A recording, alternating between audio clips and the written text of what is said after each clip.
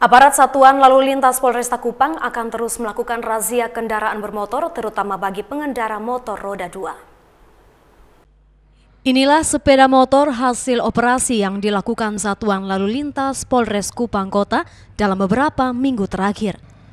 Kebanyakan sepeda motor ini ditilang karena berbagai pelanggaran, di antaranya tidak mempunyai STNK, kendaraan tidak sesuai spesifikasi seperti tanpa spion, plat warna-warni, dan pengendara tidak menggunakan helm. Para pengendara kendaraan terutama roda dua dihimbau untuk tetap menggunakan helm saat berkendara di jalan raya demi keselamatan pengemudi itu sendiri. Dari Kupang, Rudi Ritugu, Tim iNews melaporkan.